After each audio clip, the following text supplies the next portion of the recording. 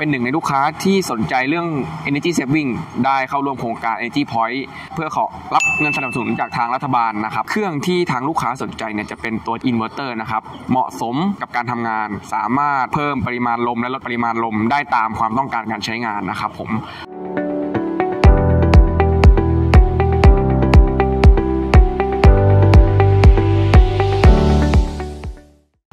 สวัสดีครับ อยู่กับแทมนะครับ จากปั๊มลม Delta Compressor นะครับผม ตอนนี้เราอยู่กันที่บริษัท Bolt & Nut Industry นะครับ ตั้งอยู่ที่บางพลีใหญ่นะครับ จังหวัดสมุทรปราการ บริษัท Bolt & Nut นะครับ เป็นบริษัทที่ทำชิ้นส่วนเกี่ยวกับตัว bolt ชนิดพิเศษต่างๆนะครับ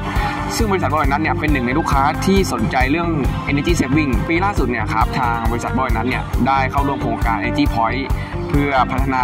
ระบบปรับปรุงเกี่ยวกับเรื่อง energy saving นะครับเพื่อขอรับเงินสนับสนุนจากทางรัฐบาลนะครับปีนี้นะครับทาง m o d e r n Industry เนี่ยได้ทำพัฒนาโปรเจกต์เกี่ยวกับตัวเรื่องระบบลมนะครับจากเดิมเนี่ยที่ใช้อยู่ขนาด 100 แรงม้า ซึ่งใช้ได้ไม่เต็มกำลังการผลิตเครื่องที่ทางลูกค้าสนใจเนี่ยจะเป็นตัว 75 แรงม้าอินเวอร์เตอร์นะครับเหมาะสมกับการทำงานสามารถเพิ่มปริมาณลมและลดปริมาณลมได้ตามความต้องการการใช้งานนะครับผมก็เดี๋ยวยังไงเนี่ยเราไปดูงานติดตั้งกันครับ